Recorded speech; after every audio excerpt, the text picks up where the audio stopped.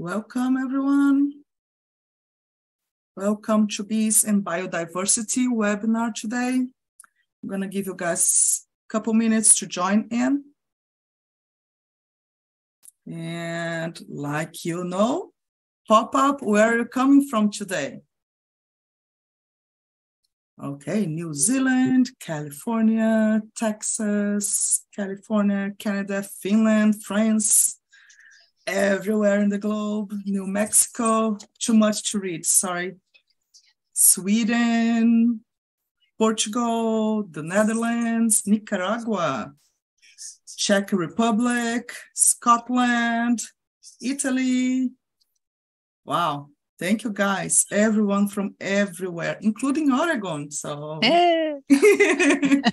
Bulgaria, Saudi Arabia, Virginia, Hawaii, Denmark, everywhere. Slovenia, awesome. Canada. Greece, Greece, Germany, Switzerland. Yay. It so, is. Go ahead, Elaine. Sorry. It's definitely a worldwide um, interest learning about bees and biodiversity. Yes. Thank you so much, everyone, to join us today. Uh, Alex, uh, you have a video for us, correct? Alex actually already played the video, so you're you're okay. able to progress forward to the next slide. Okay, thank you, guys.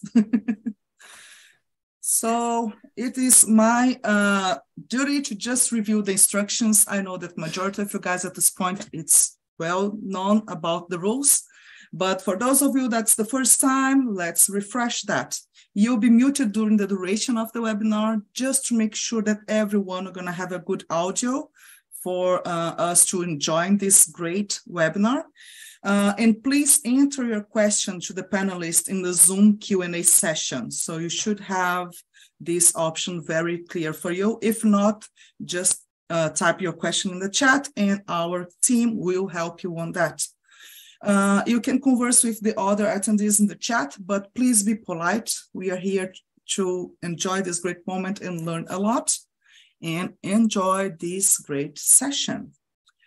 So uh, just uh, to give a quick, sorry, a quick uh, introduction of what we're going to see today. We're going to have a five minutes of quick introduction, which we are already doing. Uh, then we're going to have around five, 55 minutes uh, on bees and biodiversity presentation with Sonne uh, Copijn. Uh, she's the president and founder of Bee Foundation. And then we're going to go for the discussion Q&A for about another 60 minutes. Without further ado, we have the pleasure to introduce Sonne Copijn today. She's the director of Bee Foundation in the Netherlands. Uh, we have Dr. Elaine Ingham here today, founder, soil microbiologist of Soil Food Web School, and I am your host for today.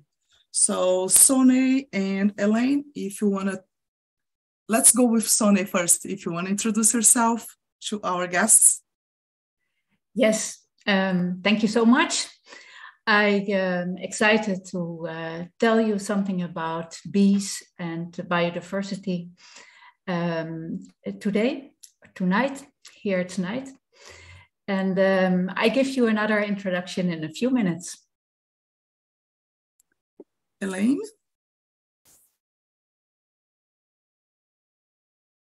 You there we go. I'm muted. it worked. The button worked for everybody.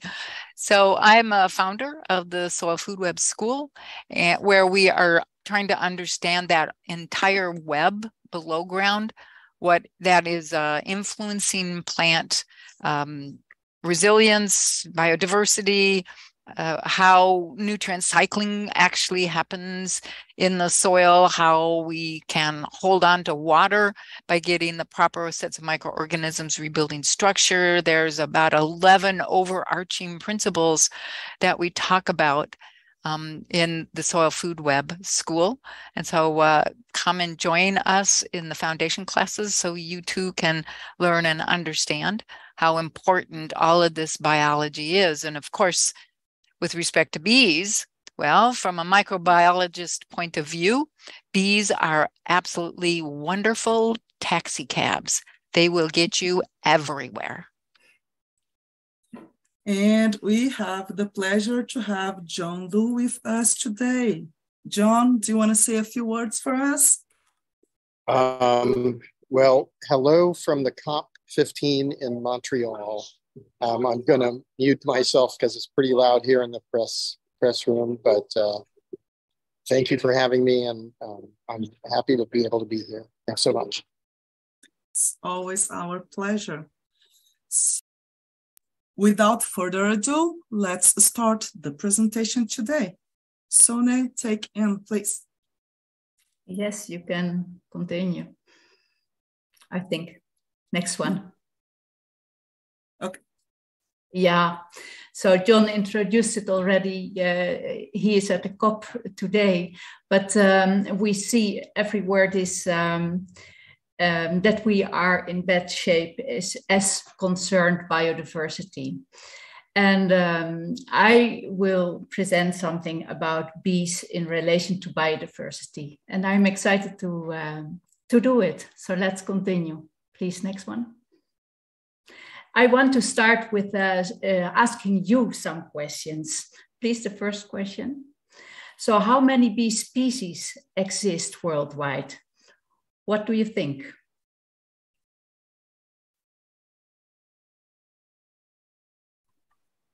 You oh. should be able to see a pool popping up in your screen if you want to put that. But we have a lot of D's, some B's. Yeah. And do we have the pool outcome? Yeah, we have majority of them with letter D. Uh, C is just coming close by.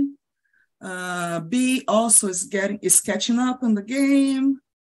So we have okay. about 34%.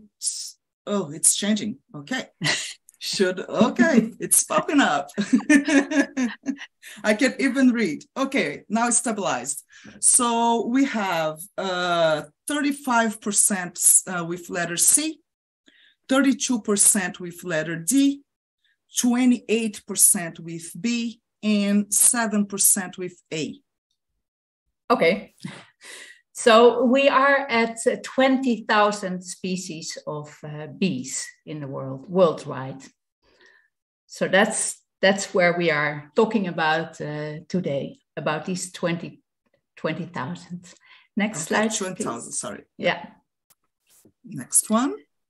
So the, then how many of them are making honey? Is it just one species or more than 500 species, or do they all produce honey? So the push popped up again. We are in a race once more. Okay, majority is with more than 500 so far. In second place, only one bee species. They all produce honey is coming in third place still catching up, numbers changing. Let's see, let's see. So almost 70% of participants already answered. Okay. So what is the uh, main answer? Yeah, okay. Uh, so the final result is uh, 57% with 500 species, more than 500 species. 27% with one, only one yeah. species. Ah, there we see it. And 60% with they all produce honey. Yeah. Now that is a it's a, it's a good answer. So we have one honeybee species, but we have over 500 species of stingless bees who also produce uh, little honey but that's not uh, um, in the commercial, it's not the commercial honey or the honey that is sell, sold commercially. Okay, good, good answer. The last one. Yep. So why are bees important for biodiversity? What percentage of all plants depend on pollination to make seeds? So what do you th think? Okay, so far 80% is winning the race. It's popping up. Still 80% winning the game. Okay, stabilizing. 80% is still winning the game. Okay. Yep. that's a great uh, that's a great answer. It's um, it's it's 87% of all plants need pollination by insects. So that's uh, it's a good answer. Great. So let's let's continue. Okay. Yeah, next one. Next slide. Can you see my Okay, I, I okay. will I will introduce myself shortly. And um, I'm Sonne.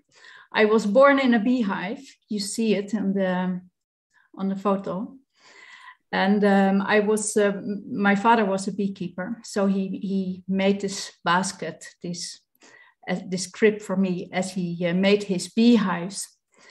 And um, I, as a, as a child, I always uh, uh, loved the bees, but also the native species, not knowing how, how important these plants are for um, solitary bees. Then um, I started studying um, uh, in Wageningen University. I studied uh, agricultural economics and ecological agriculture. I was fascinated between the clash between uh, the earth and economics already in the 90s it was a problem um, not only now um, so that's that's what i um, why i went to study then and um, after that i i was working in um, with farmers i worked in uh, peru for some years and in east africa and then uh, now i'm working for more than 15 years in the Netherlands, back home. And since uh, 2012, I, um, I started to be a trainer in natural beekeeping. And then um, quite soon in 2015, I started to uh, train in solitary bees, wild bees, and biodiversity. I remember the first um, um, masterclass I gave on bees and worms. It was 2015. That was in, in Amsterdam, where, where I met John Liu. And since then, we are working together. Yes, next slide, please. And then in 2015, um, uh, I founded Bee Foundation. And what we are doing is we, um, we basically create awareness about uh, pollinators, about um, and, and habitat for pollinators. So we give uh, education. Um, we work a lot with uh, school classes, but also with uh, students and um, yeah, business people. And um, while educating them, I like always to go out and uh, do the planting um, of, of trees and bushes. And sometimes um, we call it, we give bees things. And that basically is if we want, if we need to, to be present in the uh, political, uh, political field. So for example, we did a lot in the, um, uh, European bee guidance, where still a lot of uh, um, pesticides are being used uh, who are very harmful for bees. So that is basically what, uh, what the field of Bee Foundation is. And we use always the bees as, as I see it as they are a window on um, to connect or to reconnect with nature. Um, so that's the, yeah for for many many people they are an an entrance what what are where they easily can connect with and where they want to do something for. So we didn't know when we started doing it but it it is growing and growing and growing this this um, awareness but also this the warm heart people have for bees. Next slide please uh, and, on the other slide, there were some prizes. We won quite some prizes with the work, and this was also in the in the um, uh, prize about big data for bees. Here you see me with the Minister of Agriculture. She's on the left side of the picture, handing out the, the prize of the big data for bees. We made um, a, a, a, game uh, uh, for bees and biodiversity. Next slide. Okay, bees and biodiversity. It's all about the birds and the flowers, or the birds and the bees. What do you say in um, in the United States? Birds and the bees, huh? Mm-hmm. Uh, here in the Netherlands, we say it's all about the bees and the flowers, or it's nowadays my children will say it's all about sex, mom. oh, next one. um, yes, I have a the the disclaimer I want to make is that um, I mainly use Dutch data. I I don't have a lot uh, international data. They will be there, but I I don't have them. Um, but the biological processes they will hold internationally international. So the percentages they will differ um, in the different areas but uh, how they live we will see it. Yeah. Next one. Who are they? The bees. And of all animal species, two thirds is insect. So that's an incredible amount of um, is insect on, on Earth. And we have this 20,000 bee species worldwide, of which one makes honey, apart from the 550 stingless bees who produce little honey. And 250 are bumblebees, and the rest is uh, are solitary wild bees, so they live on their own. Next slide, please. And I uh, will start with these wild bees. And um, they can be very small or they can be like two and a half uh, centimeter. This one, what I have on my finger is, is, is quite a big one. It's not a very small one. Some are smaller than the yellow heart of a daisy flower. So really small ones. Come again, next slide, please. And then it's all about sex. Here you see this male um, with the female under him. And these males are always born first. And when they get born, when they are born, they, they are flying like crazy around the flowers to, to, to look for the female ones. And they are born a little bit later um, when, when in spring. Next one, please. And then if they if they have mated these females they start to make uh, again their nest. And um, every female is a queen so every female is laying uh, eggs. And every adult is born an orphan. So they never will see their mothers and most of the nests they they make down in the soil. So here what you see is a nest in uh, in a sandy soil in the dunes uh, of the netherlands. Next slide please. And here you see her digging the, the nest entr- or the nest entrance. She already made the nest uh, chamber uh, and now she is she's coming with a lot of pollen on her legs, going in the soil. And she, I was lucky that she didn't see me. Um, they really don't like to, to see people around and they keep so silent and you can wait and wait and uh, it's hard to see them again. But here, this in the Netherlands, it's over 70% that are ground nesters. Internationally, I don't know. But here, only 10% um, brood in these bee hotels that, that nowadays are made for them. But when they look for places to, to make nests, they will always look for the sunny places. They are really uh, admiring uh, the warm sun places and they like open spots. So they like the spots where, where are no grasses, no other plants sometimes they can be grasses, but they they it should not be uh, a heavy biomass. Then then they don't dig their nest.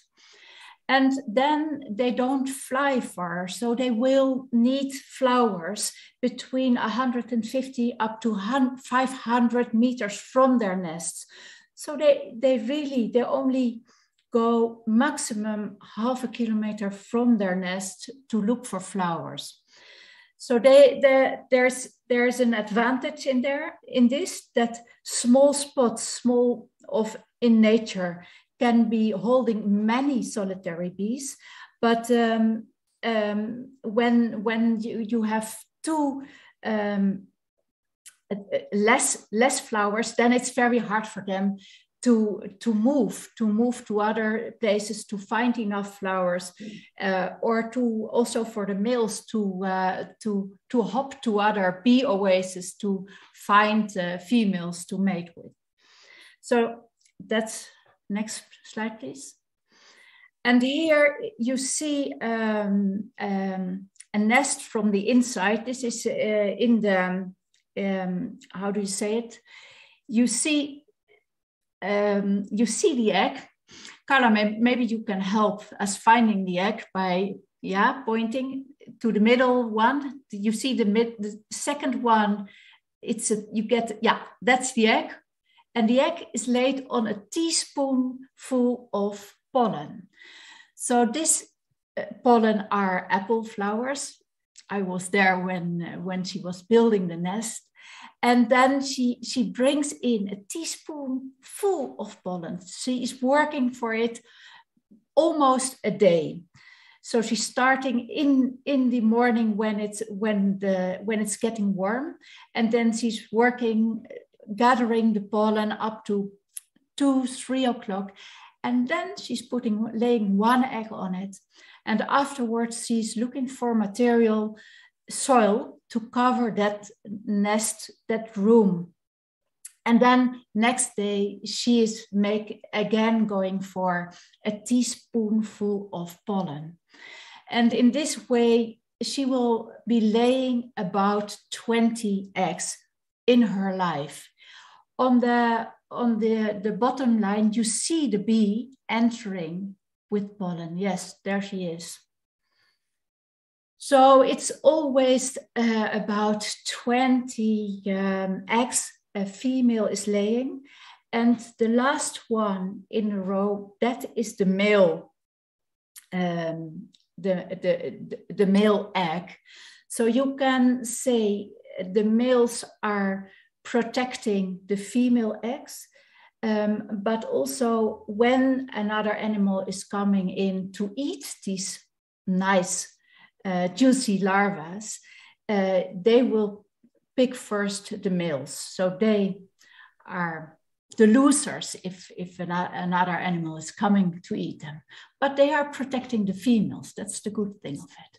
So next slide, please. And here you see a, an, um, one new one being born.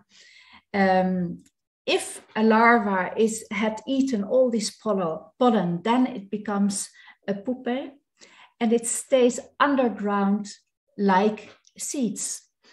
So mainly, if, if here it, these ones are laying eggs in May, the pupa are ready in June, and they are laying like seeds until next year, May. These apple flowers are flowering again, and then they, they hatch.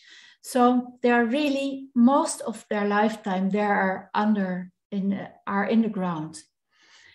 Yes, next slide, please.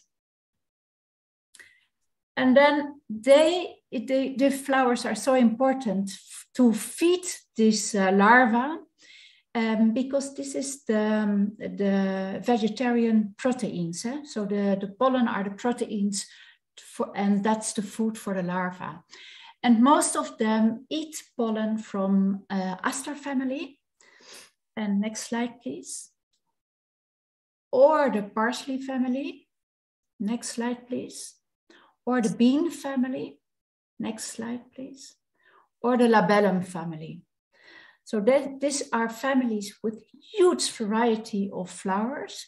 And most of the bees go either to them all or are connected to, to one in particular, one family in particular. Next to this, they also go to the flowers in, uh, in shrubs and bushes and trees. So this is our only the meadow uh, flowers. Next slide, please. Yes, but some larvae, they are already dieting even just when they are a larva, when they are young, young kid, not even a bee. And they eat only pollen from one specific flowering plant. So for example, this Melitta nigricans, these larvae are only eating this greenish pollen from that flower. And no other flowers they, uh, they, they eat, okay? Are, the, the, the moms are, uh, um, or the larva can be happy that their mom knows it. So, so she, uh, she will only look for those flowers. And this means when those flowers are not there, there's no chance this kind bee species is living there. And you have, you have it the other way round. If these uh, flowers sometimes depend completely on one bee species, but more, mostly the bee species depend completely on one flower, like these Melitta nigricans. Next, please. Yes, and if you are able to fly uh, approximately 250 meters from nest to flowers, then there's nothing to eat if you live in the Netherlands and have agriculture like this. This is our famous uh, Flevopolder. So imagine the impact of uh, monocultures. Uh, and basically what they eat is what they like, what they need is native flowers. And, um, um, and they don't know, we call these weeds. So I, I invite you to, from, from today onwards, to look differently to the weeds all around you. I, I had a, quite a change in my life because I was um, in my garden um, um, always cutting down or tearing out one specific um, wheat and until the moment that I got to learn that there's 27 species of solitary bees living only on that wheat flower. And then I could see it through the eyes of the bees and say, wow, you are good food so I give it, uh, since then, I give it also a place. It can't grow everywhere in the garden, but it should grow at some places. Next, please. Yes, I, I have a video and that's, um, um, it's going through what I told to you and it's in Dutch, so you can keep on your Dutch uh, exercise.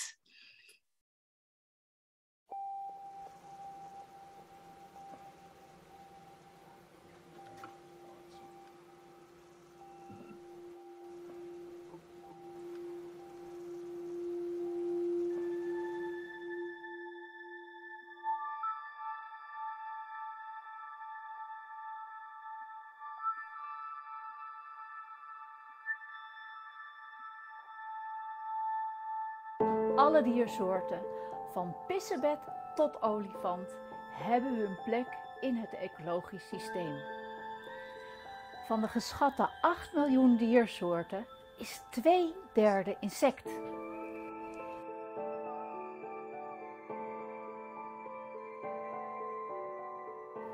Onderdeel van de insecten zijn de vliesvleugeligen.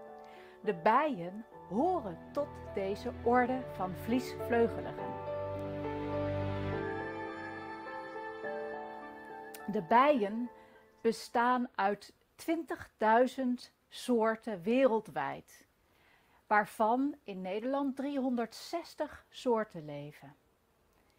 Eén hiervan maakt honing, 29 behoren tot de hommels en 330 zijn solitaire wilde bijen.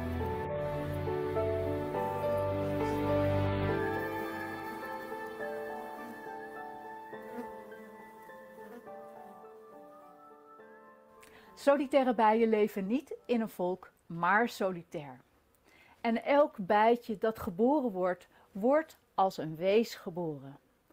Elk vrouwtje is een koningin en maakt weer een nest voor het volgende jaar. En vaak doen ze dat onder de grond. Hiervoor hebben ze stuifmeel nodig en hun favoriete bloemen zijn composiete, schermbloemige of lipbloemige. De bloemen die zij bezoeken moeten dicht bij hun nest liggen. Ze kunnen ongeveer 150 tot 500 meter vliegen. Dus je kan je voorstellen wat het effect is van een monocultuur. Daar zijn geen bloeiende bloemen en daar kunnen ze niet het stuifmeel verzamelen wat hun jonkies nodig hebben.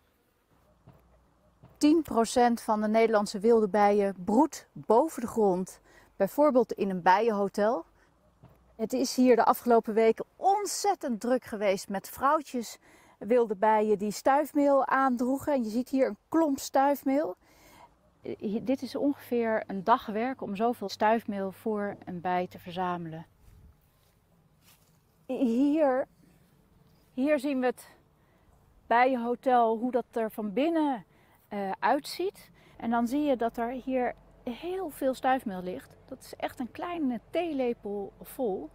Als ze genoeg stuifmeel verzameld hebben, dan uh, gaan ze er um, niet vooruit in met hun kop eerst, maar met hun kont eerst. En leggen er een eitje op. En dan gaan ze eh, de, de leem, zanderige leem verzamelen om uh, het deurtje dicht te doen. En dan weer theelepel stuifmeel, eitje erop, deurtje dicht. Stuifmeel verzamelen, eitje erop, deurtje dicht. Theelepel stuifmeel, eitje erop, deurtje dicht. En zo gaat dat door. Dit is een vrij kort bijenhotel. Ideaal zou het zijn als het uh, 11 centimeter lang was. Want altijd leggen ze vrouwtje, vrouwtje, vrouwtje, vrouwtje, vrouwtje. En de laatste is een mannetje.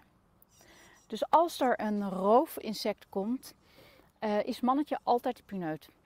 Oftewel, de mannetjes beschermen de vrouwtjes.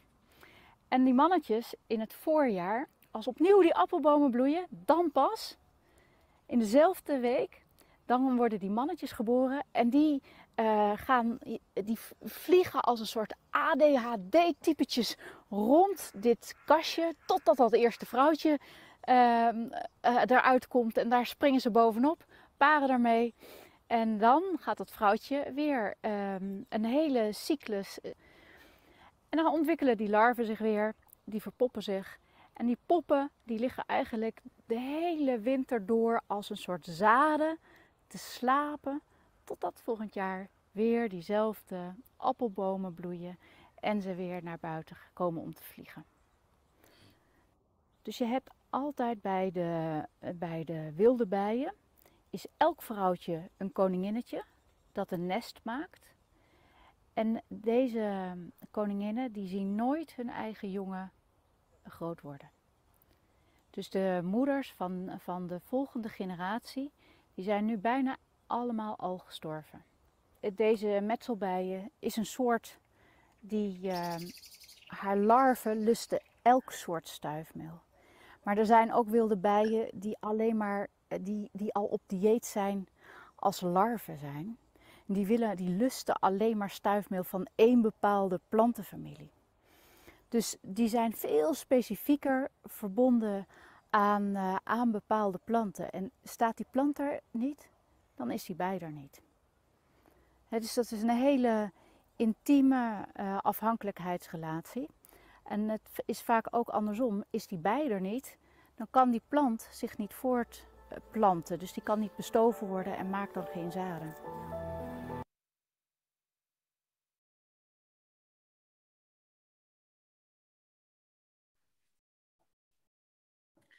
Yes, now we uh, continue to the bumblebees. We call them the humble bees. So we have about 250 species worldwide, and they live on most continents. They don't live so much in Africa. They are not so well with um, heat, warmer temperatures, but they can ver do very well in uh, cold temperatures. Um, if you have the queen, she lives alone um, and hibernate in the dry season or in the winter. So she's staying either, she's mostly staying underground in um, a mouse hole or a mole um, uh, place where, where she's overwintering. And um, when uh, she, when spring is coming, then you will see only the, um, the queen bumblebees going out. And she is starting alone a nest. Um, uh, she's starting the nest on her own, and then she is feeding a first generation of larvae who become a first generation of uh, bumblebees. And those first generation is a little bit smaller. So they didn't get that much food to really become uh, big adults. So you can do the next one. And they have about 200 to 300 uh, female uh, females in the nest, and they start start to help this queen, and they forage uh, for around uh, one kilometer around this nest. And um, at the end of the season, the new queens for the next years are born, and also the males, the drones.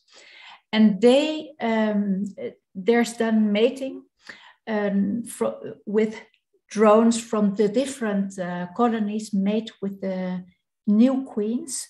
And these uh, queens hibernate uh, then uh, during uh, winter and coming out the next growing season. So um, you will see that, that their nesting period is some months from spring to summer. So that's quite a long period. And they are with uh, many individuals. So, so they need a lot of pollen and nectar during that whole time to feed next new queens, uh, to come to, to uh, new queens in this process.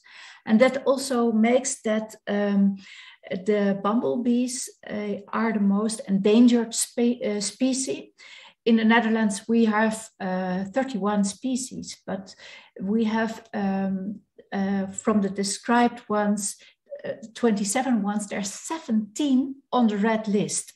So there's several, almost the same holds in, in, in England and Germany and France.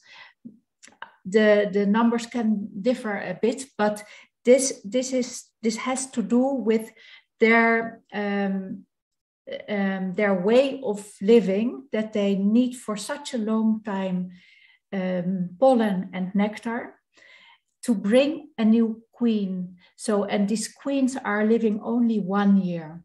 Huh? And um, the, the change in agriculture and then mainly the change in grasslands that, um, that caused for them that cause, is causing for them the biggest problem. So they miss the clovers basically. Next slide, please. Uh, this was also the only part I have on the um, about the bumblebees to tell you, and we can go to the small part of the video.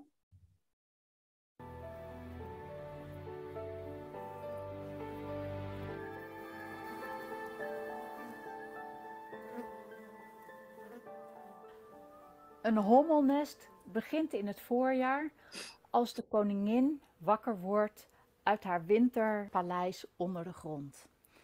Op het moment dat de krokussen bloeien en de sneeuwklokjes zie je de eerste grote buzzende hommels vliegen. Dat is vaak ook het eerste weekend dat de mannen op hun motoren weer door Nederland rijden en dat het rokjesdag is. Die koningin die verzamelt stuifmeel en nectar en bouwt daar een nestje van met een eerste generatie jonge hommeltjes. En die jonge hommeltjes zijn allemaal ietsje kleiner, want ze zijn um, een beetje ondervoed. Die eerste generatie die gaat dan op pad om stuifmeel en nectar te verzamelen en de koningin blijft binnen. Aan het, aan het eind van de zomer worden dan de jonge koninginnen voor het volgende jaar geboren. Dan, op dat moment, zijn er ook mannetjes in het volk en vindt de paring plaats. En die jonge koninginnen die overwinteren weer onder de grond in een muizenholletje of een mollengang. Hommels die vliegen ongeveer een kilometer rond hun nest. Dus ze hebben een redelijk groot vliegbereik. Maar omdat het hele volk bestaat van het vroege voorjaar tot en met de zomer, hebben ze veel stuifmeel en nectar nodig. En zij zijn ook de meest bedreigde wilde bijen van Nederland, omdat zij dat hele seizoen een nectar- en stuifmeelstroom nodig hebben voor 200 tot 300 hommeltjes. En als dat wegvalt door een teveel aan monocultuur uh, en het maaien van bermen, uh, dan is er een periode geen voedsel en storten die nesten in de zomer in elkaar.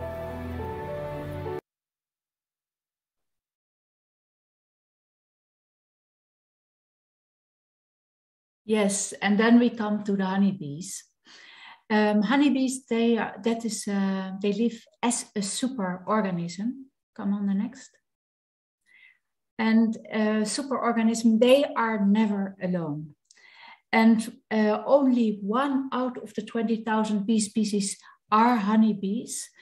And then we have uh, within the honeybees um, specific races, but they all belong to the honeybees. Um, in fact, honeybees they are uh, insects living in caves in the in in in wood, wooden caves or, or rock caves. They are basically bush insects, and um, as their colony is growing in spring, at a certain moment, the, it is split in two or more colonies, and that's what we call swarming. Then that's the moment for them to uh, to, to split. But they split and they do it at the moment that the new queens will be born in, uh, in a week from that. Um, and then they also uh, stay uh, with the queen in this uh, colony during winter. So you see the honeybees, they have their queen in the midst of a group of about 20,000 bees during winter. The bumblebees, the queens, hibernate alone underground. And with the solitary bees, there is no queen. And so they, they are not there in winter. They, they just live for about um, um, six to eight weeks in a year, a specific species, and then it's over for that year. So it is also um, because of the, um, and, and, next slide please, because of these honeybees um, live together and the queen is staying over the winter in the colony, that, uh, that they need honey to keep her warm. But more importantly, uh, she is brooding at a temperature, temperature of about 35 degrees Celsius. So the honeybee colony, when it's brooding, it's almost so warm as we are. And that's where they need their honey uh, for. So they gather from the flowers from the, from the past year. That is the food for the brood for the second, for the new year coming. And then um, they are interesting be, um, because of uh, their flexibility in work division. They have a very strict work division, but if the surrounding, if nature is changing, or if they're uh, if they are swarming, then they can go back and do the task what they did as a young bee. So if uh, if you have a worker bee that is uh, going out to forage, she also can do again the task of feeding young larvae, for example. Um, and they they uh, they go out um, for three to five kilometer around their nest. They are looking for uh, for flowers, and they eat all flowers. They they will go to every flower. So that are the main characteristics of the honeybees. And then when you go to next slide, um, you have these uh, tropical st stingless bees there are about 550 species of, of them, and they make um, tiny bits of, um, of honey. And they produce the honey in these uh, bigger open cells you see in, maybe Carla, you can go with the cursor to, yeah, you see on the outer part these bigger cells that are their honey pots. It's looking like uh, how the bumblebees are making it. And there's some, there's only one species what can produce to up to 12 liters a year, but it's very uh, delicate and um, thin honey with a lot of um, medicinal uh, properties. Thank you very much. Then we continue to the last part of the video, or the, the third part, not the last.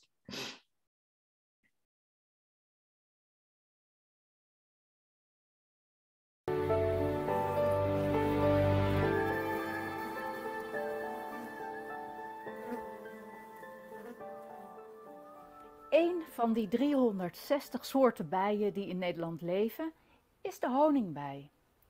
En zij zijn ook de enige die honing verzamelen. Zij hebben een vliegbereik van 3 tot 5 kilometer en lusten net als de hommels alle soorten bloemen.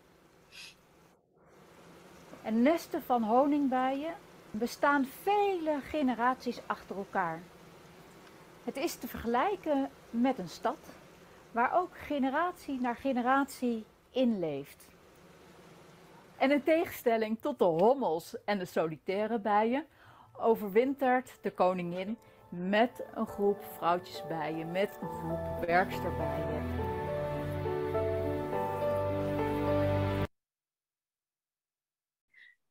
Yes. And then we go to uh, what's their importance. So, next slide, please. Um, you were quite right in the in the in the quiz question that no bees, no seeds. So it's it's really uh, seven, 87% of all plants that need pollination. And the flowers are food for the in insects, so they give them pollen and nectar. But then you get these seeds you get the genetic diversity by uh, cross pollination. And also, these seeds are food for many, many animals. And the seeds that become plants, they, that, they provide the coverage of the earth. So they give cooling to the earth. They give this, that the plants, they, they look for the CO2 storage. They store sugars they they are directly food for animals. They are the organic material and then afterwards food for soil organisms. Like what their roots are doing they give the they put the air in the ground they make the soil possible that it's uh, storing water they make minerals available and they also are organic material for food soil organisms. So these plants um, are there because of bees are there. And um, then a question would be, maybe next slide, what if there's no bees? Who are then the main poll- pollinators? Or why, no, yeah, that's the, that's the third question. Let's start with the third question. Who's the main pollinator when there are no, when there are no bees? Or before the bees existed, so before 66 million years ago, who was main pollinator? So who can put something in the, yes, exactly, the wind, the wind. Yes. Now butterflies a little bit, ants a little bit, birds a bit, little, little, little bit. So why are uh, ants and butterflies not made the main pollinators? Why are the bees the main pollinator? This is the first uh, question. Can you put it then answer in the chat? The numbers, the hairs, they have, uh, yeah, they are fuzzy, yes. Yeah, so that's because of their larvae eat pollen. Yeah, So there's no other, no flies. They don't eat pollen, their larvae. The, the, for the butterflies, they don't eat pollen. So it's only the bees that their larvae eat pollen. So these female uh, bees, they are just looking for food for their larvae. In meanwhile, through their fuzzy hairs, they pollinate uh, almost all the plants. Uh, and there's um, before the time that uh, that the bees existed, that was around 60 million years ago, in the time of the dinosaurs. That at the end of the time of the di dinosaurs, the bees uh, came into existence in relationship with their uh, flowers. And before that time, it was only the wind who was the pollinator. Yes. Okay, next slide. Yeah, so no bees, no food. And you see here the bees on top that pollinate the flowers, and then they produce the, the fruits uh, that are eaten by mammals, the fruits that are eaten by, by birds, and the birds uh, or the mammals are eaten by foxes and, and other birds, the owl. So you see here um, that bees are, next slide please, bees are the buzzing heart, I miss one. Bees are the buzzing heart of nature. And also we depend on their uh, pollination because this we can eat when uh, we have an abundance of bees. And if there's no bees, then this will see, uh, next slide, you will see this. So that's an enormous reduction of our uh, foods without bees for um, two quarters of of, of our food depend on pollination. So of every um, four spoons we eat, three we think we have thanks to the bees. So you can see they are, next slide please, they are the buzzing heart of nature for already over 60 million years.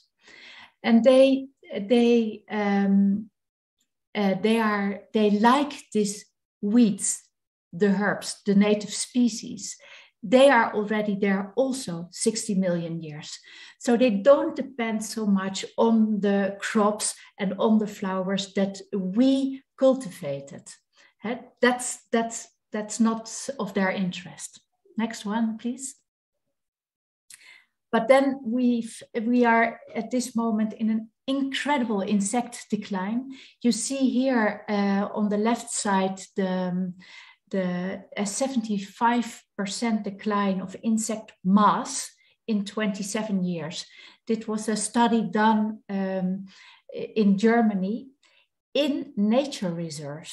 So in, in more than 60 nature reserves, they, they counted this loss of insect mass. So it's, that's including all the insects. And if we have here um, uh, in the Netherlands, we have 55% of all our bees are on the red list, and worldwide is that 40%.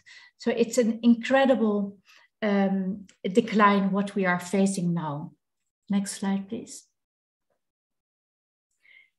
And if you go to this uh, overview picture of the um, uh, Stockholm Resil Resilience uh, Center, then you see also, um, for example, compared to climate change, the upper red um, part, you see by the biodiversity loss as incredible amount uh, over the, the capacity of the earth to uh, re uh, regenerate itself. Um, and maybe I have a short question for you. So, do you recognize biodiversity loss, loss in your lifetime? Or do you hear your parents talking about species that, that you never saw? Maybe you can put something in the chat. Yes, yes, yes, yes. What did you see?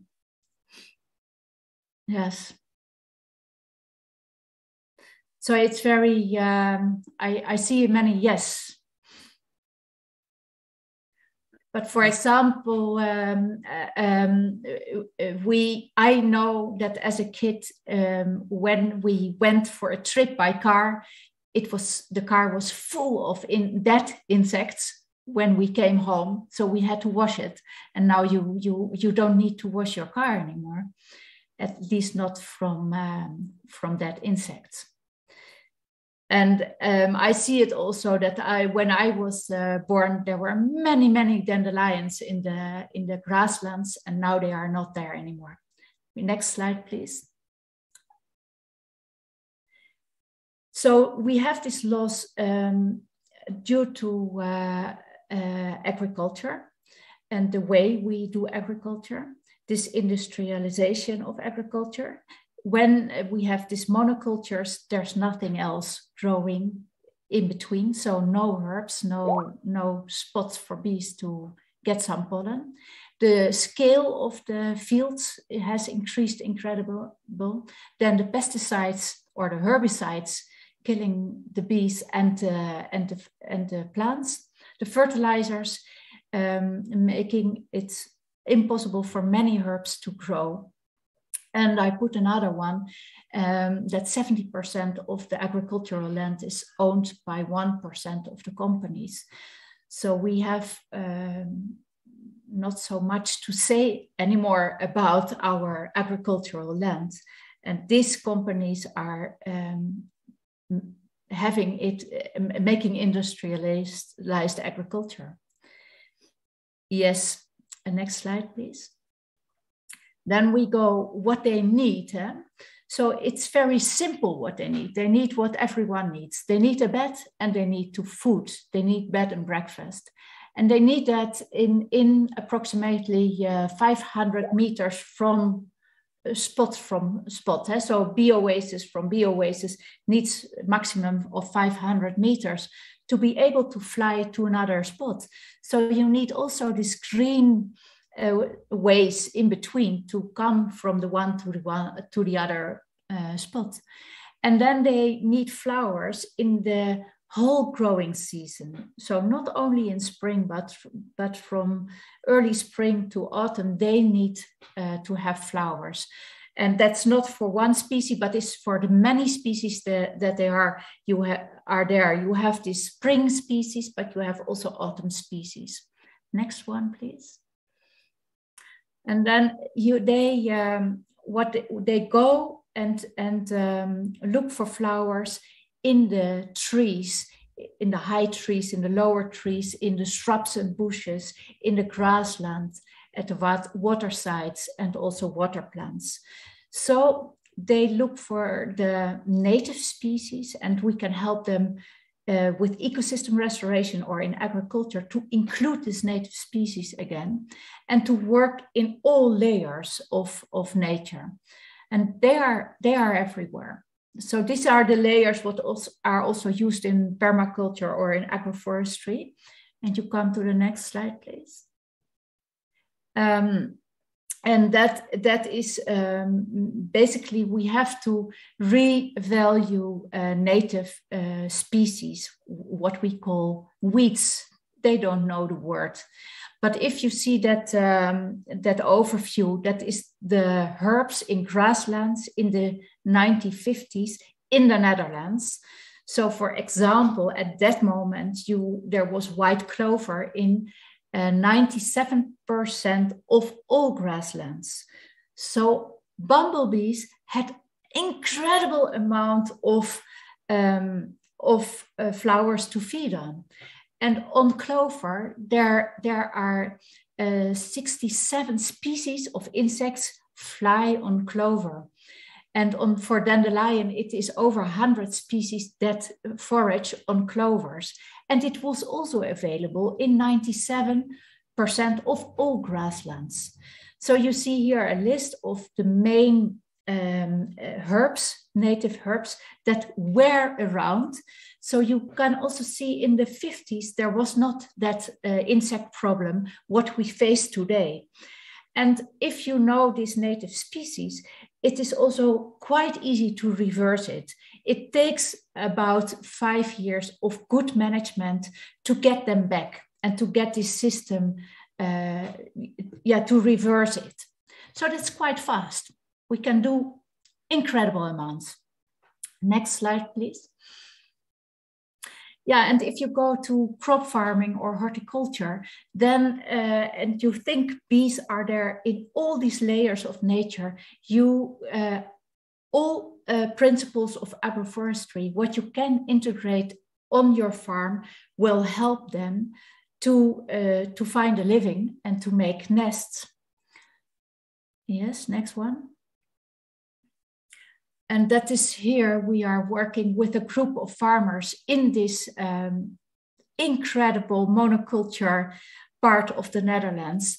And um, we are looking with them uh, to the herbs, what are na in, native in the Netherlands and where, uh, how to mow it and how to maintain it um, to get more native species. So at the moment, we uh, we are working with about 75 kilometer of um, of, of, of grasslands um, alongside the ditches, where they started to to reverse uh, it and to to to get um, through mowing uh, differently get their species back and it's uh, it's working and it's nice to um, to be with them and it's uh, um, uh, empowering that they that they are they are very much committed to the project. Yes, one. I think this is um, um what I wanted to tell, and we have last part of the video. Um, after this, what shall we do? It's about five minutes, but we are also on uh, on the time yeah, let's watch the video and then you decide what you want to do. And then we go to the Q&A. Deal. Yeah.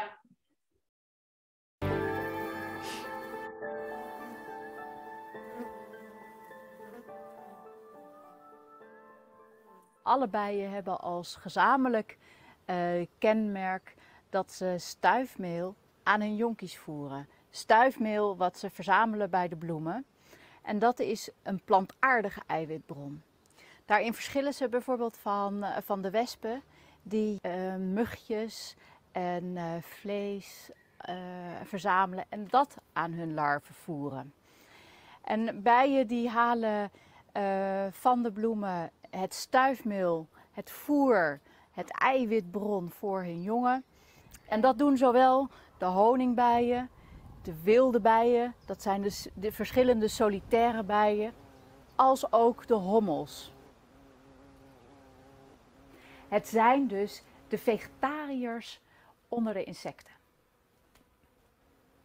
Met dat zij stuifmeel verzamelen en aan hun jonkies voeren, bestuiven zij en passant 85% van alle planten op aarde. Dat betekent dat ook onze gezondheid direct samenhangt met de nijvere arbeid van bijen. En in de afgelopen 60 miljoen jaar is die, uh, dat verbond tussen bloem en bij ontstaan. En zijn die bijen altijd in relatie tot hun bloemen ontstaan. En uh, voor die periode dus dat is de tijd dat de dinosaurussen leven, was de wind de grote bestuiver op aarde. En uit die tijd stammen ook nog de bomen, zoals de dennenbomen. En die hebben wind, eh, die, hun stuifmeel verbreidt zich met de wind. En na de tijd van de dinosaurussen is die relatie tussen, tussen bloemplant, kleurrijke plant en bij ontstaan. En die, die relatie tussen, tussen bij en plant is een ongelooflijk, onwaarschijnlijk intieme relatie. En de solitaire bijen, hommels en honingbijen, zijn de bestuivers op aarde, omdat zij hun jonkies stuifmeel voeren. Zo wordt driekwart van al ons voedsel bestoven, waaronder 90 van de meest uh, belangrijke handelsgewassen.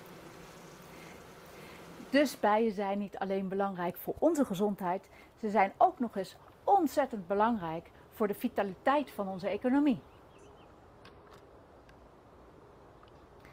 Bijen hebben tegelijkertijd enorm moeilijk. In Nederland staat 50% van de wilde bijensoorten op de rode lijst. En wereldwijd is dat 40%.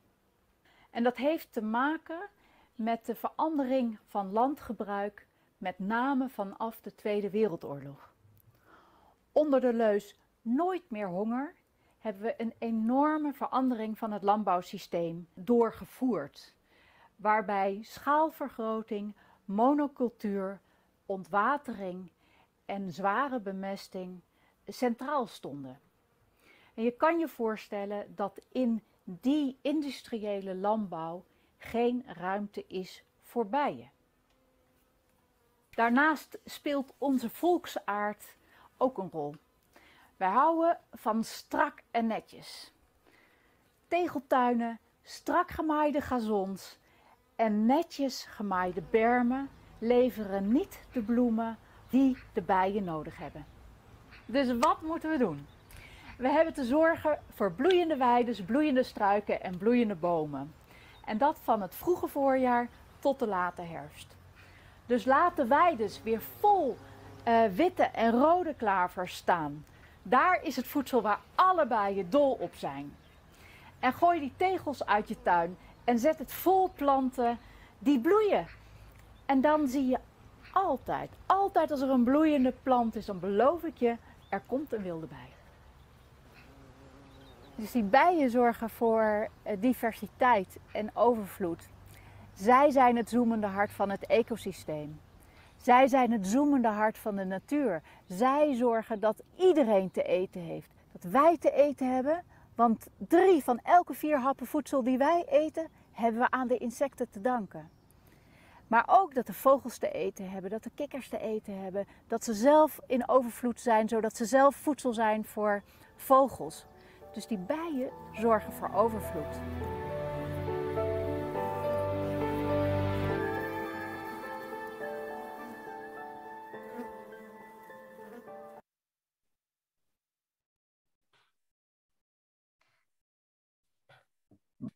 Hey.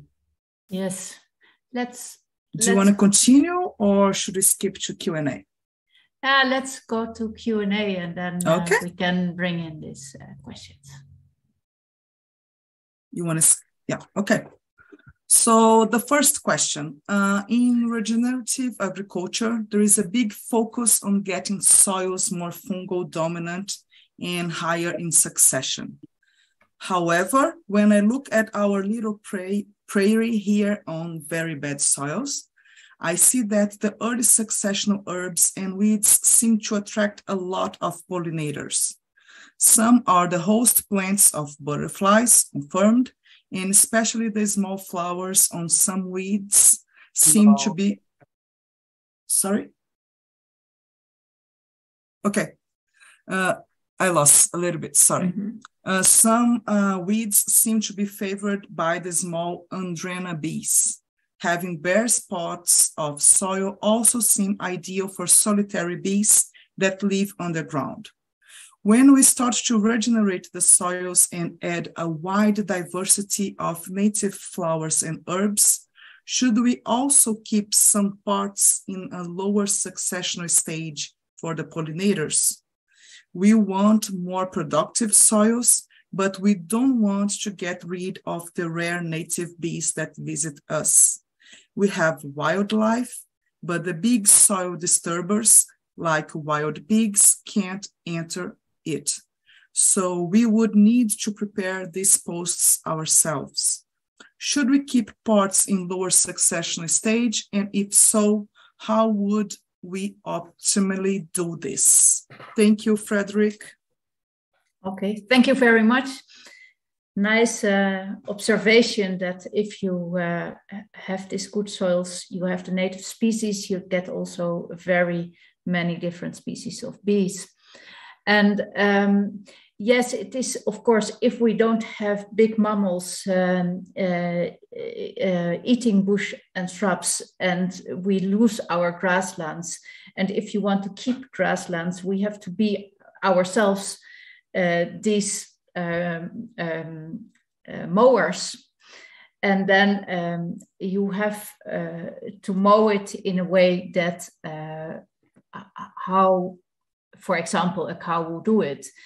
You graze it and you take it, and uh, not leave hay um, for more than um, a few days on a spot because then it will um, uh, work contrary.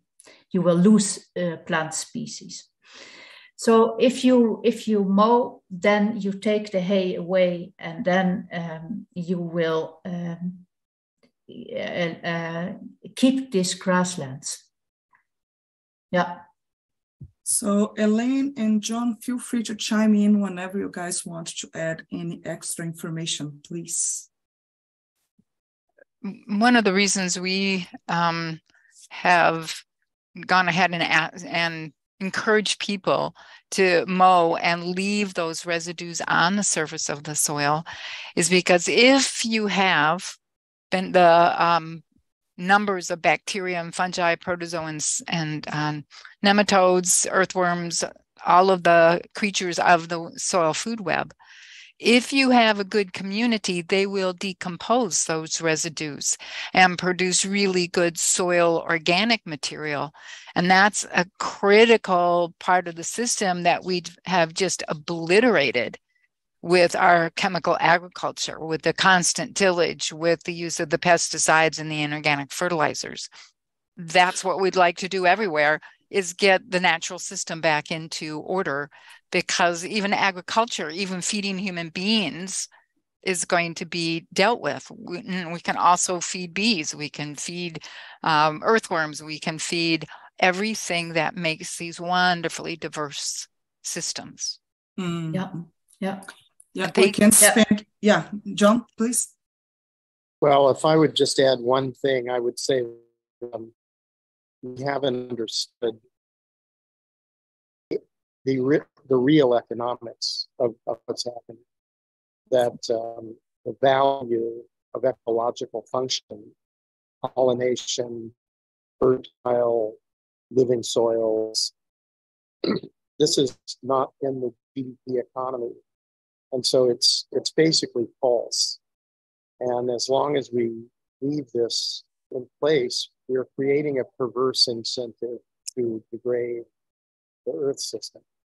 And I think it's so wonderful that we can talk in such depth and beauty about pollination because it brings out the complexity and, and the beauty that is is there whereas most of the conversations here at the top are abstracted into policy and kind of reductionist theoretical discussions. It's not it mm-hmm. doesn't touch you in the heart. It doesn't make you see the, the beauty.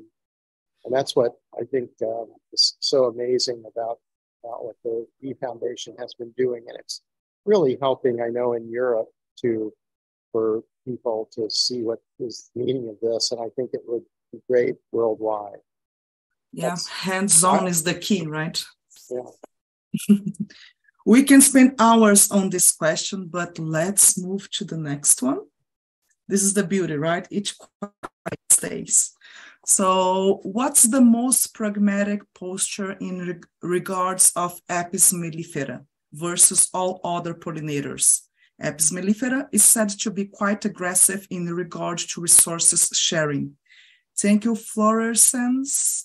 I think I said your name correct. Um, I don't know if I understand the question okay. quite well.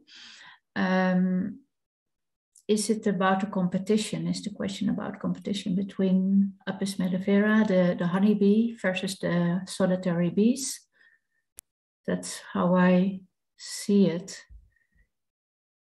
Yeah. Or aggressive in regard resource to resource sharing. Yes. Now, um, I can, as I understand it, it's it's a question: How is it between the competition between the honeybees and the solitary bees, the wild bees. Um, it's uh, uh, discussed the past years quite often, and um, the um, what I know is in the Netherlands, we lost over the past 150 years um, 87% of our biodiversity. Yeah, so um, we have no 83%. We have 17% of the biodiversity of 150 years ago. We have still have. So we have a shortage all over. And um, we can discuss a lot um, in, about the competition between honeybees and uh, solitary bees, and then do nothing on increasing biodiversity. Uh, and that's the only answer that we have to do. And then, meanwhile, yes, we have to look that uh, if there is, um, is a solitary bee, what is uh, on the red list, what needs a very specific flowers, um, that we don't go when that flower is flowering with millions and millions of honeybees to that same spot. That's that's for a short time that's the solution, but really the only solution is biodiversity, increasing biodiversity. And yeah, that's my answer. Any input, Elaine? Not for now. Sorry, I'm answering somebody on okay. the chat, so you're going to okay. have to. We're going to catch up you with you in the next question, which is quite similar to this one. I, I see as a compliment. Uh, since some of us have limited space and limited time, is there a list of some of the best native wildflowers to plant? I wrote down the plant families, but I'm wondering about the species for different ecoregions. Is there a quick and dirty research at that level? Thank you for the question, Laurie. Um, yes, that's a good question. And no, I have no answer to it um, because it's depending on the regions. So I would say you have this, this uh, that's why I put these four families and there are everywhere species of these four families. So look around and see where they are. And um, then you will find that you probably don't have to plant them, probably not, but just uh, let, let uh, go, give place to what is growing naturally in your place. Give that space and have a look when it's flowering, who is there, what different kind of insects will you see, will you find on your plants. It will be probably amazing. So it's more uh, about doing less uh, than uh, doing a lot and planting the wrong, probably then the wrong plants. Um, so it's an invitation to look to the natural herbs, what are already there if you let them, leave them growing. I saw your hands up, Elaine. yeah, I, when you have to list. when when people want to, you know, grow a um, indigenous set of plants, things that are um, going to help bring back the natural system um, probably the best place I know to recommend to you is the native plant societies. And there's typically one in every state in the United States, up in Canada. And I assume that there are native plant societies all over the world. I just haven't had to use them yet. So uh, you get the low understory uh, plants growing that will allow you to grow you know taller crops the grasses the um, corn other um, uh, agriculturally more expensive um, plants but you get the understory plants that protect that soil that prevent um, loss of nutrients that keep the microorganisms we've got to keep the microorganisms growing and so they'll have that food resource it would be food resources all year long uh, in some places. Uh, uh, so I really encourage people to grow locally available indigenous species of plants. It then really enhances the indigenous species of microorganisms in the soil food web. So we start rebuilding things from the from the deepest root in the in the soil all the way up to the top of the tallest tree. Yeah. Here, mainly in the Netherlands, we uh, we want everyone wants to do something for bees, and then um, everyone is doing the wrong things because commercial um, um, companies they are very good in providing uh, seed mixes for bees. And then you get all those plants what are coming from the south of france or eastern europe. And and they pollute the, the native species here. And yes of course they give pollen and they give nectar.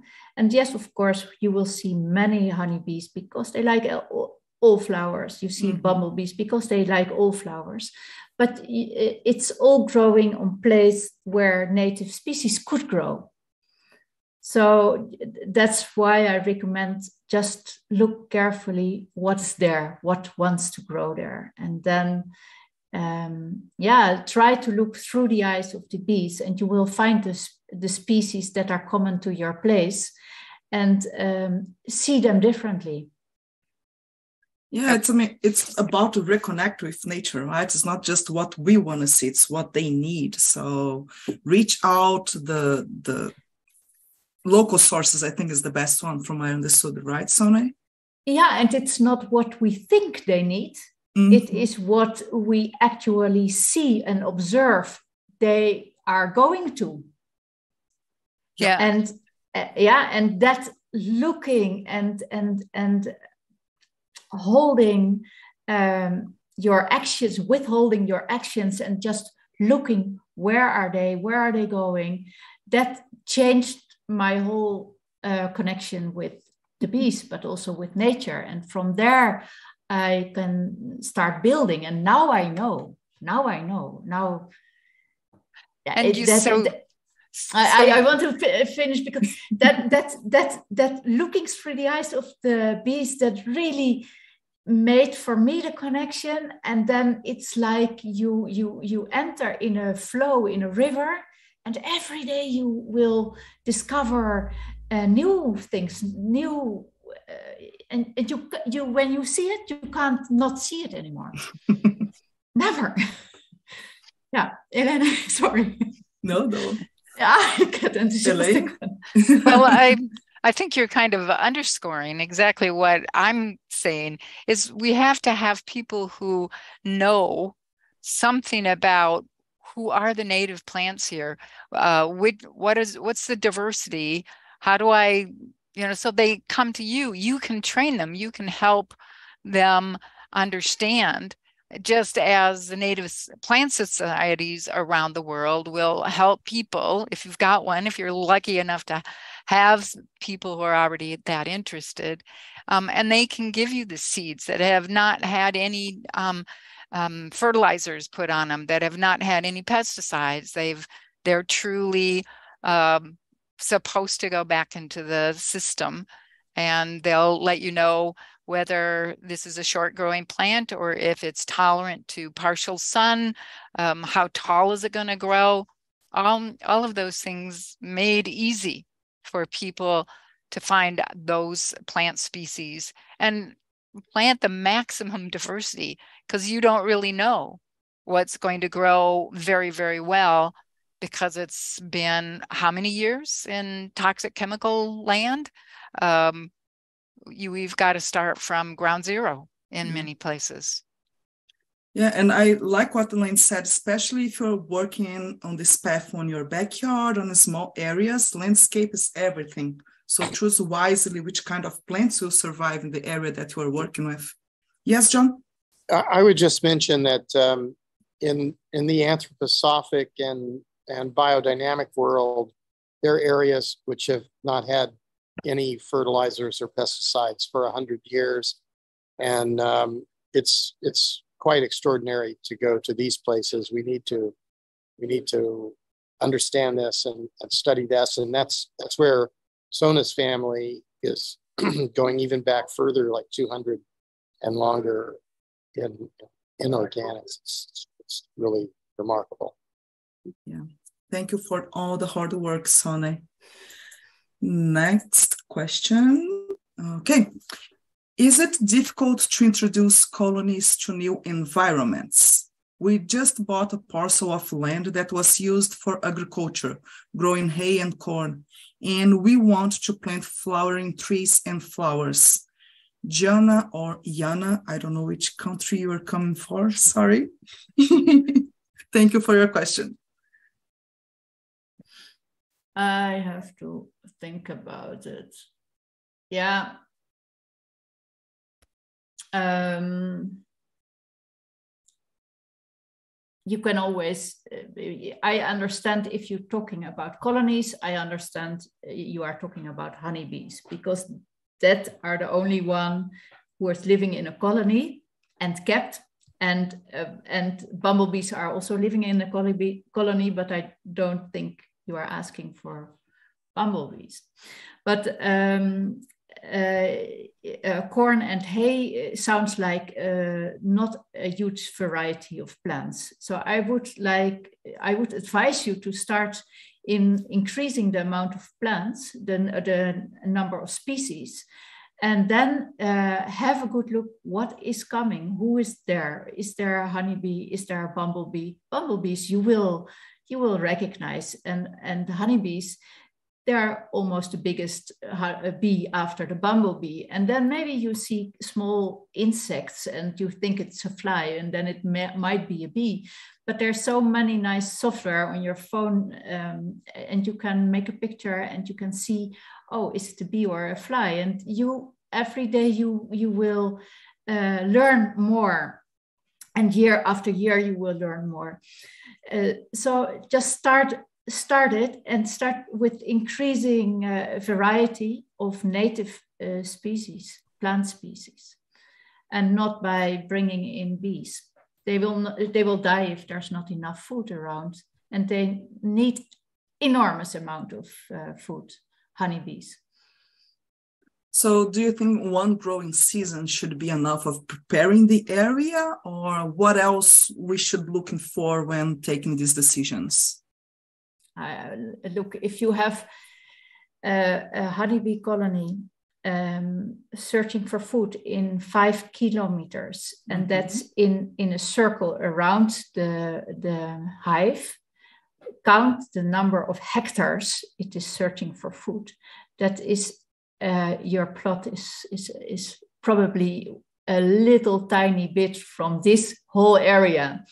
So look to the landscape, look what is growing in the landscape. Are you in an agricultural landscape as what I showed you the pictures of?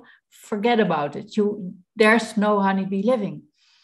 There's no bee living, nothing. Um, but are you in a wonderful nature reserve uh, full of flowers, then that's absolutely not a problem. And you you, then if it's if it's already abundance, then I would also not um, be uh, worried about a lot of comp- competition between solitary bees and and uh, honeybees. But then then it's when there is abundance. True. Yeah, yeah. I don't know the area yet. yes, it's it's hard, right? Yeah yeah. So uh, just like uh, extrapolating in here is just i don't know if it's just my brain going wild but uh, when we saw the when we see big areas of monoculture do you see any benefit on building like a big ring connected around the area with big colonies or it's not worth the work no uh, if i get you well you mm-hmm. you have you have um, a, a, ring around the agricultural yeah. uh, area and there you put colonies where will they mm-hmm. go to to look for their flowers yeah i mean but right uh, my my question was not that clear but if we can have this ring outside the area with uh, also ring of flowers that will provide food do you think that this would be a nice design i'm trying to think about uh, how can we introduce these concepts with big farmers because they gonna have they'll be resistant to leave spaces in their farm for just for bees yeah yeah yeah no i for for um, big farmers i would not uh, focus on uh, honeybees but on wild bees okay. solitary bees. So, and that means make uh, the place suitable with uh, native plants for wild bees to settle. Mm. and and for bumblebees to settle and make the soils build that in a way that they can go in be happy when there is a mole uh, or when there are, are mouse nesting underground.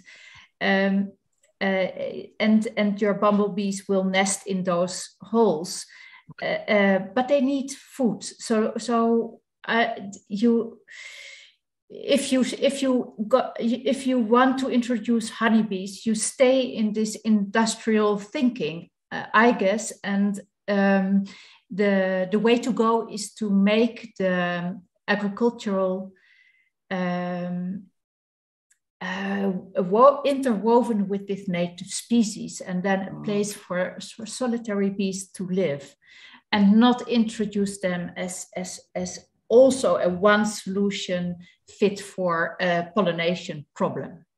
Makes sense. As as we do now, eh? so so it's it's we bring the hives in, we bring some species of um, solitary bees, the the pupa, we we harvest the pupa, we we put them in the cool cell, we bring them in when the when the pears and the and the apples are flowering, and then nothing, uh, or then they mm-hmm. need to reproduce. So we make it very um, as as as a beekeeping, another way of beekeeping, and then with solitary bees, instead of making the whole area uh, a, a, a, paradise for solitary bees, and it, that should be done, and not not a one, not a not a pollin pollination solution. Makes sense. Thank you. Next question. Okay.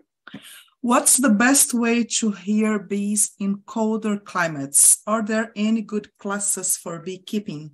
Letizia, thank you for your question. Mm, what's colder climate? Is that the Netherlands? We have uh, minus eight today, and that's nice. Um, now, if you if you go to beekeeping classes, um, um, then what what uh, what I found everywhere around that it's not about natural beekeeping, but it's about industrial beekeeping. Bees are there for us for honey, and that's not true. Honey is is is, is something for bees, and and maybe if there's abundance, we can harvest some but so uh, in in the courses i give i turn it around. I i i, I bring you into contact with bees and their environments and start to love also the honeybees because they are amazing. They are absolutely amazing. And that's why it's also very sad to, to talk about this competition between honeybees and solitary bees because then somehow the honeybees are thrown away and they are amazing animals it's a superorganism. Now who knows what is a superorganism and you can live with it. So it's but so um, yeah it is it is uh, there is of course um, beekeeping classes for colder climates. And then please look for for the the the most natural beekeeper you can find in your area who is not feeding with with sugars who is just keeping them maybe in indigenous hives and not in these commercial hives just and and and live with them. It's about living together starting to love each other. Yep. And they will love you back. That's exactly. It's uh reconnecting right? See yeah, ourselves as, as part of the system and not uh, alien that has yeah. the right to do whatever. Yeah but that's seeing we are all aliens nowadays yeah somehow. But True. but then um, uh, connecting with them you, you, you your heart starts to move when you when you, you you you only can love them if you see them. I can talk whatever i can talk but if i show you a beehive from inside you say oh. So then the bees are telling I, I keep quiet and then it's done. And people, then you want to care for them. And if you want to care for them, you are going to work with these indigenous plants, with these herbs. And you will also um, um, eat food from places where where bees can live. So you will automatically draw, go to this uh, agroforestry or, or, or small scale organic um, uh, places where you can buy food. They are everywhere around. That's that's also beautiful from mm-hmm. this time. It's compared to the 90s. There's much more possibility to to to for for gardens where you can can get your own foods or you buy. Yeah. I, I at least that's my experience. I, I don't think Elena, what do you think? You're muted, Elaine. When I when I mute myself, I, that means I'm usually over there in the webinar chat answering somebody's question. So could you br briefly outline what your question to me was? Oh, I I I was talking about my experience about that that um, if people see the bees, then they start loving them, and then they start connecting them, um, and then they want to grow this native species and and give place to this native species.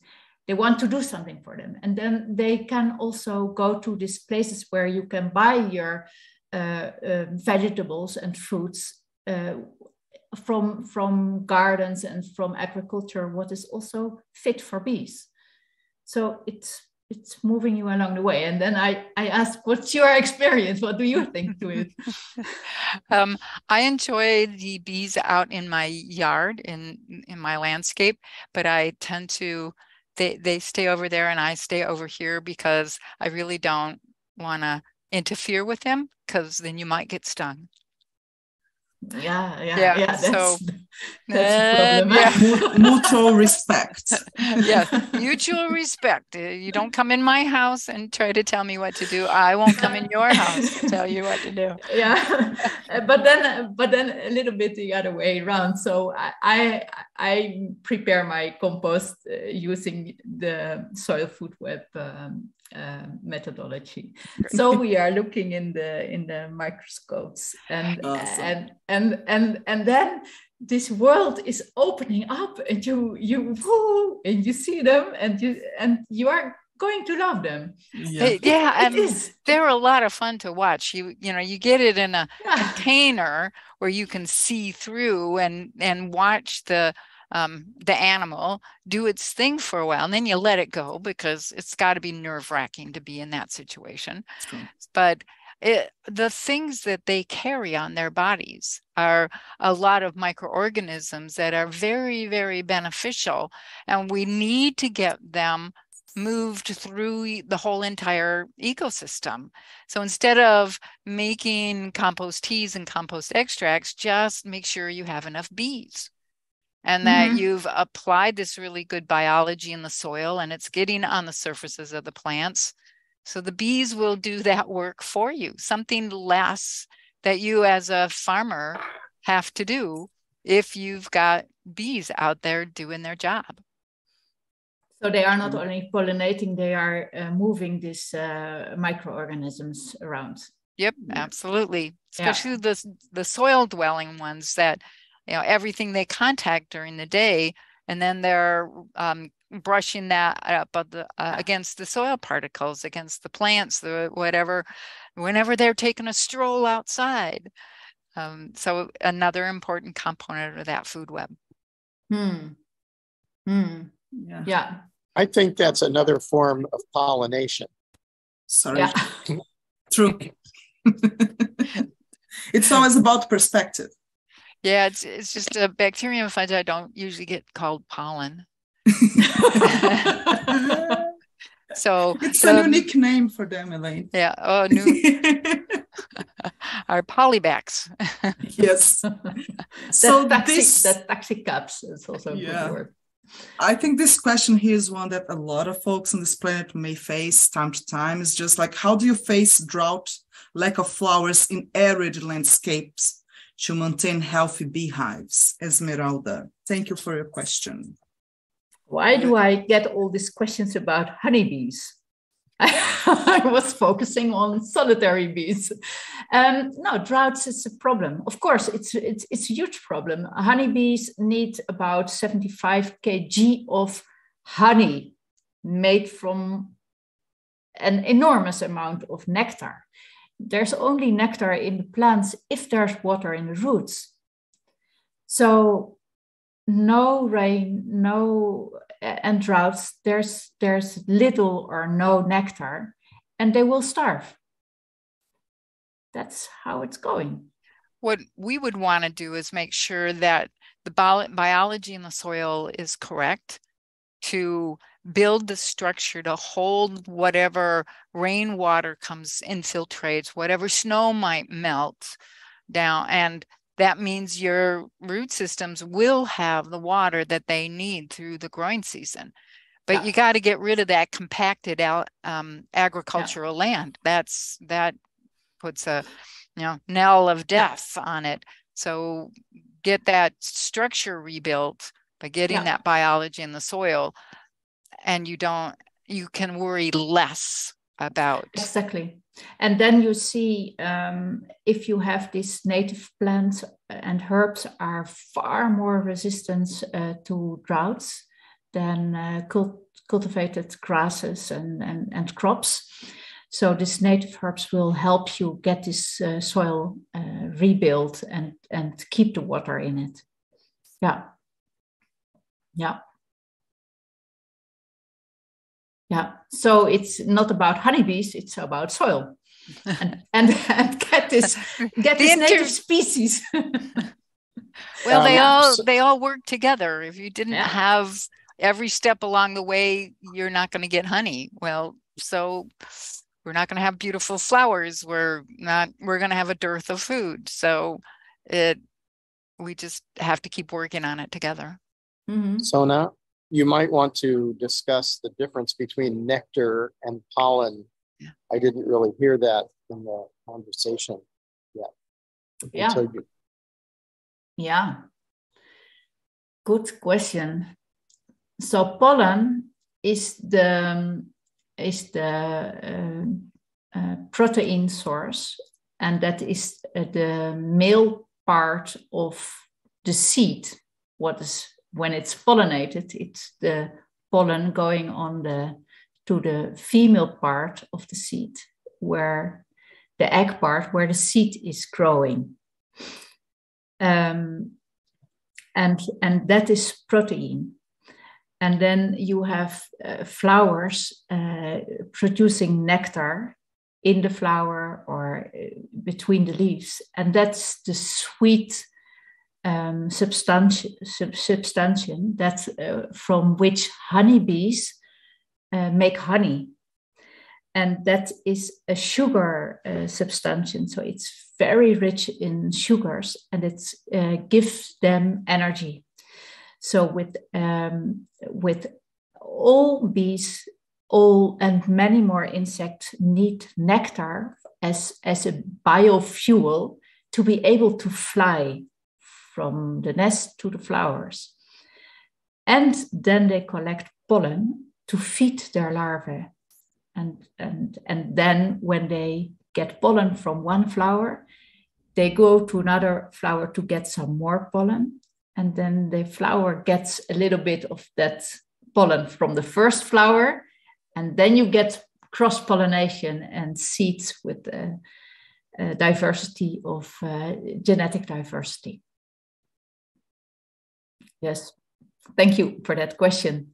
There's there's one more. I I I don't know um, if you told them about uh, the because you were discussing that it's all about sex, and I, I wonder if you explain the difference between the males and the females because that is is, is relatively dramatic. oh my god that is for an advanced course. Uh, okay there we now go. Now we want a small taste. Um, now um, if it, the, so these these uh, male bees they are there only when there's when there is females and in this in the wild bees there all the females are queens. And in the honeybees there's only one queen and one and small princesses. So only when the princesses are there there are also the males. And then there is um, mating and um, for the for the honeybees this is uh, quite dramatic because when the the princess is going on the queen flight on on her mating flight then you you will have drones from all different hives that were waiting somewhere in the landscape. Where is this um, princess coming? And when she is flying off she is guarded by, by many bees around her. And then these, these, all these drones are flying after, after her. And these, these guarding bees, they are looking that no drone from the same hive is mating with the princess. Only from other hives are mating with her. And then the first one is mating, and then after mating, he's exploding and he's falling from her dead off. And then, but there will be a next one coming, and he is also mating with her. And he's exploding also after mating. And he's like a little uh, a bomb, eh, a little drone bomb. Uh, and so she is she is um, pollinated by uh, by about 10 to 12 drones. And from each of them, she's keeping a little tiny bit of um, uh, sperms. And she's keeping that for her whole life. And she's living about four years in a separate place in her body. And every time when she's laying an egg, she is feel, she's uh, measuring the size of the cell. And then she's knowing, oh, this is a cell for a female. And then she is putting a little bit of sperm to, the, to her egg. And when she is measuring the size, bigger size for the drones, she's not putting uh, sperms with it. So all the drones are genetic, genetically identical to their mother, to the queen. And all the worker bees, they are having the part of their father and of the queen.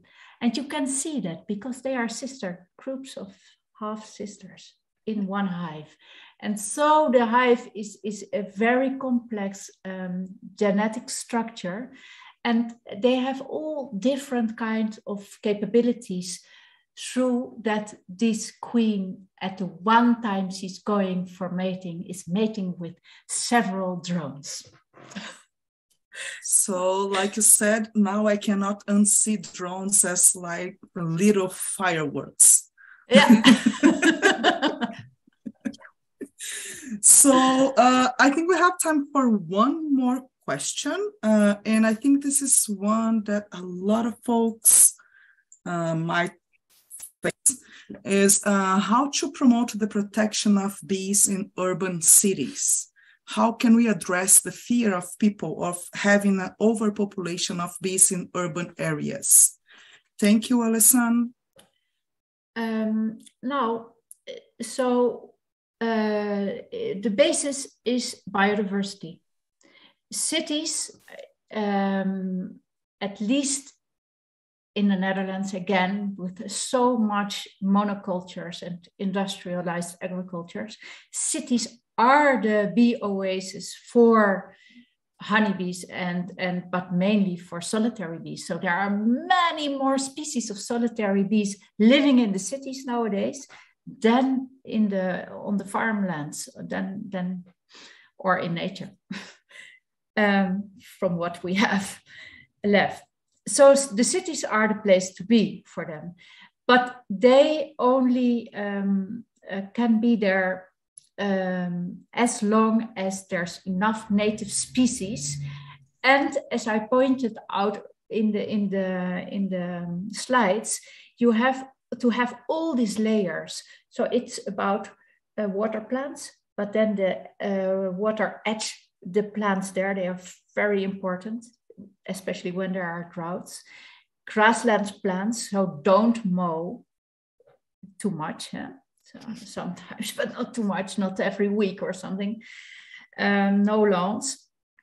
Um, and then you have this, uh, these layers of the shrubs and bushes and small um, uh, small uh, trees and the huge trees, and then the climbing uh, climbers in the trees.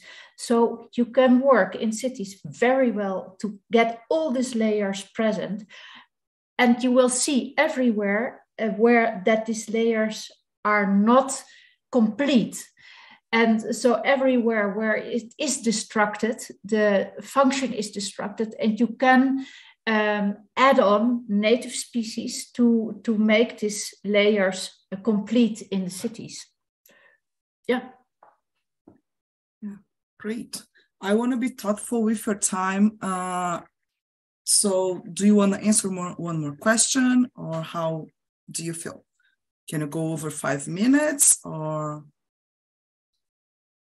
Um, I'm not stressed I mean, about time, but you you are the timekeeper. No, no I, I, I would be I would be very happy if if if uh, to know what native species do you see around? Where mm-hmm. do you observe your insects flying to? So let's do this. We have a bunch of tons questions, and this sounds like an another section of webinar. So let's leave this time for uh, your last words for the day for Sonne, Elaine, and John.